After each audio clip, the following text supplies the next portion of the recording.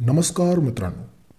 मित्रांनो ज्यावेळेस एखादी स्त्री किंवा एखादी मुलगी आपला बॉयफ्रेंड निवडत असते त्यावेळेस तिच्या मनामध्ये एक प्रश्न असतो की आपला बॉयफ्रेंड किती सक्षम असेल?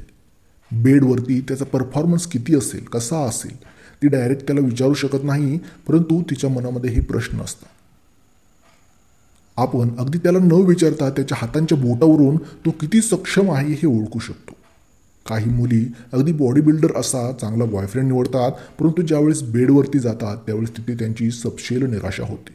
तर अशा गोष्टी होऊ नयेत यासाठी या गोष्टी कशा ओळखायच्या की तो किती सक्षम आहे हे आज आपण पाहणार आहोत. अगदी हाताच्या बोटावरून आपण हे ओळखू शकतो. आपल्या हाताची जी पाच बोटे असतात यामध्ये अंगठा आहे तर्जनी आहे मध्यमा अनामिका आणि करंगळी आहे.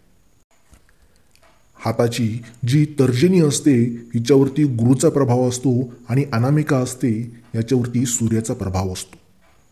अंगठ्याच्या शेजारील जी बोट आहे ही तर्जनी असतं आणि करंगळी शेजारील बोट ही अनामिका असतं. आता जर गुरुचा प्रभाव जास्त असेल तर क्षमता कमी असेल म्हणजेच लैंगिक इच्छा कमी असेल आणि सूर्याचा प्रभाव जास्त असेल तर उष्णता जास्त असेल आणि इच्छा देखील जास्त असेल. आता ज्या पुरुषांची अनामिका म्हणजेच करंगवळीजवळील जे बोट आहे ही तर्जनीपेक्षा मोठं असेल. म्हणजेच अंगठ्याजवळील बोटापेक्षा मोठं असेल त्यांच्यामध्ये लैंगिक इच्छा ही जास्त प्रमाणामध्ये असते.